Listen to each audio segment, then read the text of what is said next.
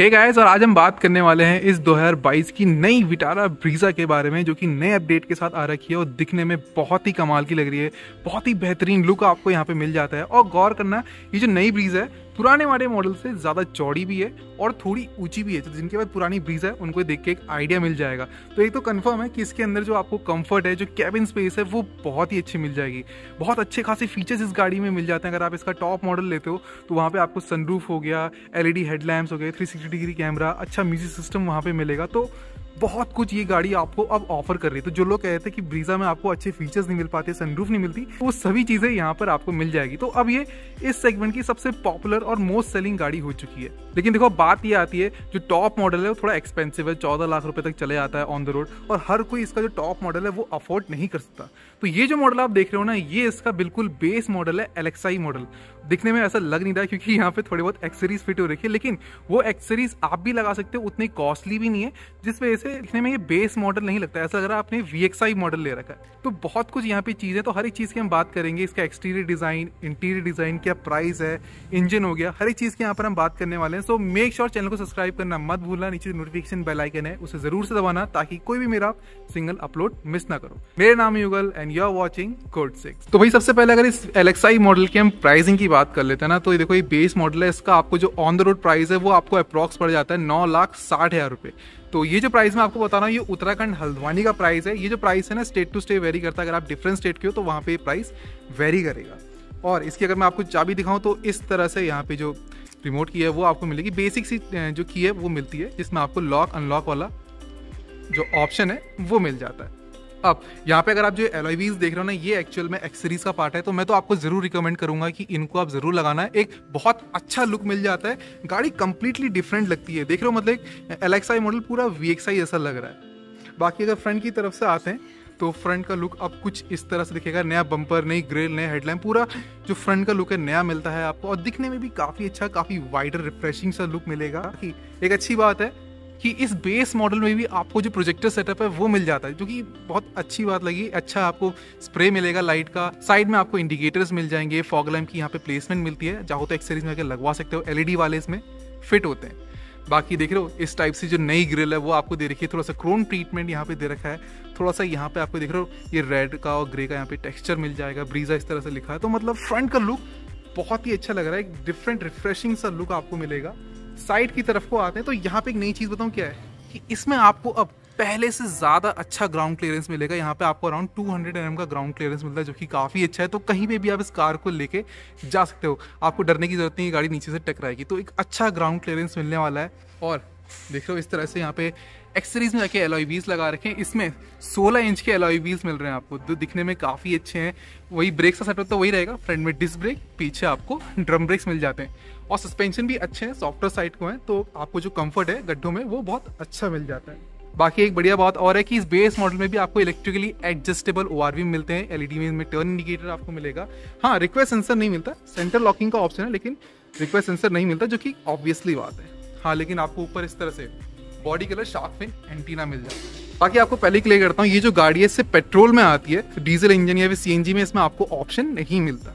अब, पीछे की लुक की अगर हम बात करते हैं तो पीछे का जो लुक है वो अब आपको कुछ इस तरह से दिखता है। पूरा चेंज हो चुका है काफ़ी बढ़िया लग रहा है। मॉडर्न लुक आपको मिल रहा है स्पेशली इसकी जो टेल लैंप है वो दिखने में काफ़ी अच्छे लग रहे हैं काफ़ी लंबे हैं। स्प्लिट टाइप में आपको मिलते हैं और ये देख लो ब्रेक लाइट आपको इस तरह से एलईडी में मिल जाती है। इस बेस मॉडल में भी आपको हाइब्रिड इंजन ऑप्शन मिलेगा तो यहाँ पे स्मार्ट हाइब्रिड इस तरह से लिखा हुआ मिलता है। ये प्रॉपर हाइब्रिड इंजन नहीं होते इनको हम माइल हाइब्रिड इंजन कहते हैं। मत सिखा। बाकी इस तरह से जो ब्रीजा है, वो लिखा हुआ मिलता है। ऊपर आपको कोई भी हाँ इस मॉडल में डिफॉगर एयर वाइपर का ऑप्शन नहीं मिलता, जो कि ऑब्वियसली बेस मॉडल है तो ये ऑप्शन आपको नहीं मिलते। हाँ लेकिन आपको हाई माउंट स्टॉप लैम्प यहाँ पे मिल जाता है, और इसमें एक्सरीज में ये जो कैमरा है, ये फिट कर रखा है तो आप चाहो तो इस तरह से लगवा सकते हो, नहीं तो आफ्टर मार्केट भी आपके पास कई सारे ऑप्शन मिलते हैं। हाँ लेकिन पीछे आपको चार पार्किंग सेंसर्स मिल जाते हैं, दोनों तरफ़ रिफ्लेक्टर्स मिलेंगे। और बूट की अगर हम बात करते हैं तो यहाँ पे आपको मिलती है 328 लीटर की बूट्स पे, जो कि अपने सेगमेंट में बहुत बड़ी तो नहीं है, लेकिन देख रहे हो, अच्छी खासी स्पेसिंग है, काफ़ी सारा स्टफ़ आप यहाँ पे कैरी कर सकते हो, और एक बड़ा वाला जो लगेज बैग है ना, वो यहाँ पे बहुत इजीली फिट आएगा हाँ बस ये कि जो बेस मॉडल होता है ना, यहाँ पे आपको कोई भी देख रहे हो एडजस्टेबल हेडर्स का ऑप्शन नहीं मिलता। ऐसे नहीं कि खाली इसी वाले जो नया फेस आ रखा है, यहाँ पे ये चीज़ शुरू कर रखी ना, जो प्रीवियस ब्रियर थी, उसमें भी आपको यही ऑप्शन मिलता था। तो ऐसे नहीं कि खाली यहीं से जो ट्रेंड है, शुरू हो रखा है। यहाँ पे कोई भी देख लो पार्शल ट्रे का ऑप्शन नहीं मिलता, पर चाहो तो एक्सरीज में उस चीज़ को फिट करवा सकते हो। और हाँ ऑब्वियसली इसके नीचे जो आपको देख रहे हो, ये स्पेयर व्हील है, ये मिल जाता है। बाकी दोनों तरफ़ इस तरह से स्पेसिंग दे रखी है टूल या फिर कोई छोटे मोटे स्टफ़ आप यहाँ पे भी कैरी कर सकते हैं। बाकी टूल किट मेडिकेट सब चीज़ आपको ऑप्शन यहीं पे मिलता है। लेकिन जो हमने इस गाड़ी का एक्सटीरियर देख रखा ना, गाड़ी बाहर से दिखने में तो बहुत अच्छी लग रही है।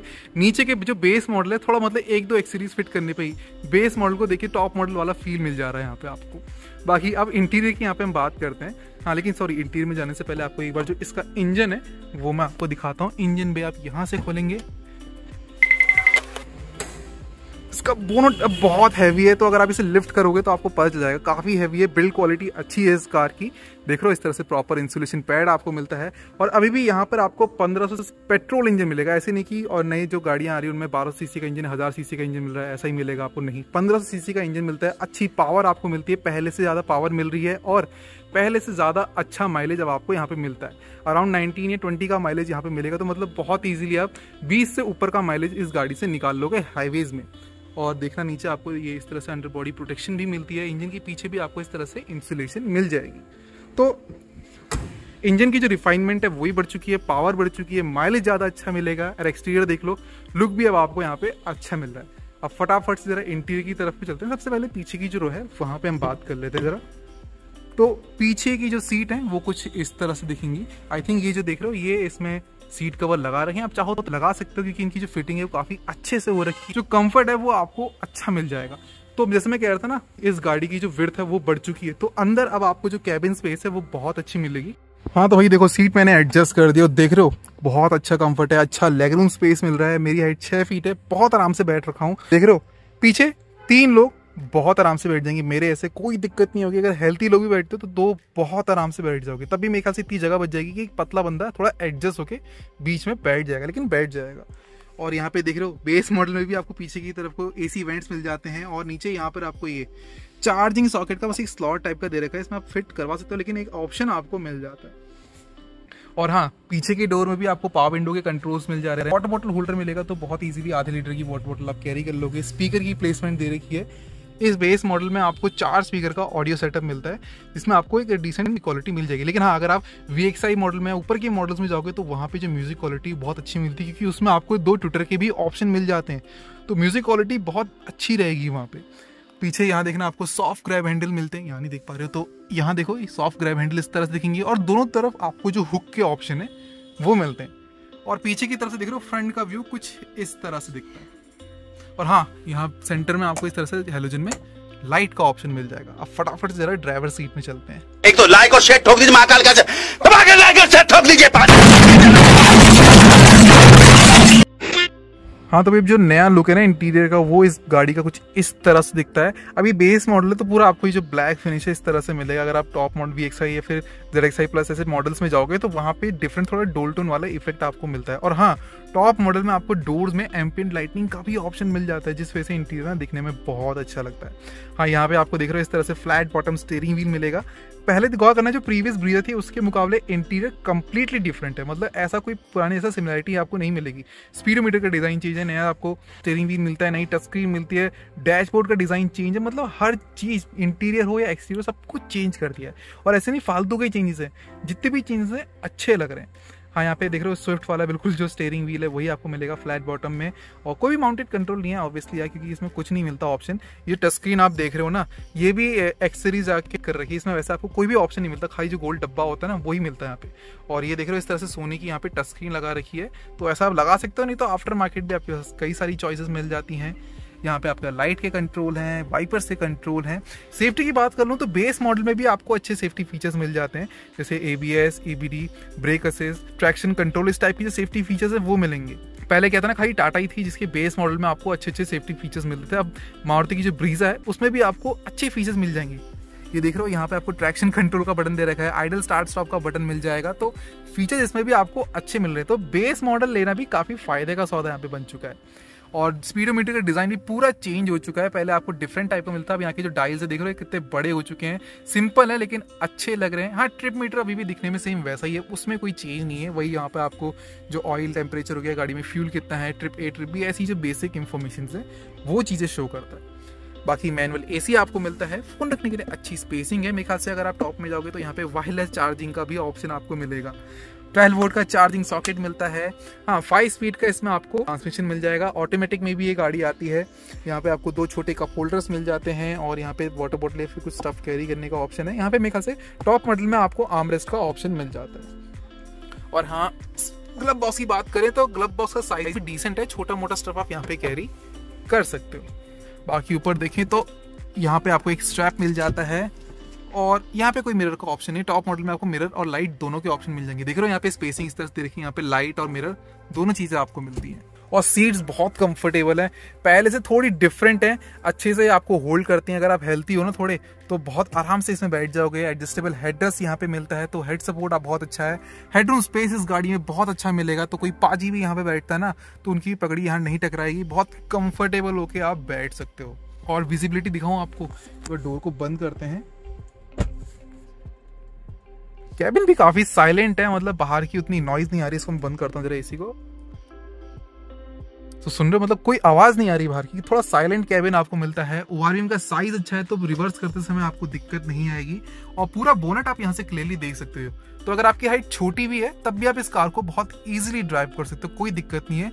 भले आप इसको हाईवेज में चलाते हो शहर के अंदर चलाओगे तो ड्राइव करने में आपको दिक्कत नहीं आएगी। और जो स्टेयरिंग एडजस्टमेंट है हाँ यहाँ पे आपको स्टेयरिंग एडजस्टमेंट भी मिलता है। खाली जो टिल्ट वाला ऑप्शन है, वो मिलेगा। अगर आप टॉप में जाओगे तो वहाँ पे मेरे ख्याल से आपको टेलीस्कोपिक वाला ऑप्शन भी मिलता है। बाकी डोर में दिखाऊँ पावर विंडो के कंट्रोल में सिर्फ़ ड्राइवर साइड आपको वन टच डाउन और वन टच अप का ऑप्शन मिल जाएगा। बहुत अच्छी बात है। बेस मॉडल में वैसे ये चीज़ नहीं मिलती है।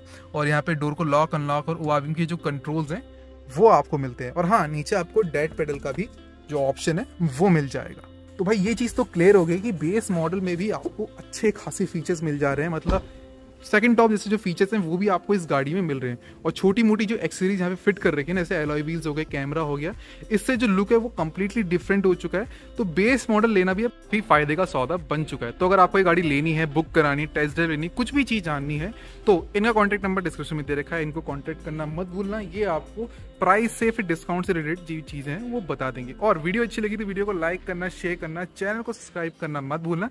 नीचे मैंने इंस्टाग्राम का लिंक भी दे रखा है, वहाँ पे भी मुझे फॉलो करना मत भूलना, वहाँ पे भी काफ़ी बढ़िया कंटेंट है। तो फॉलो करना मत भूलना। तो बस आज की वीडियो के लिए बस इतना ही। बहुत जल्द मिलता हूँ आपको ऐसी और नई क्रेजी मशीन के साथ। तब तक के लिए stay legal but drive fast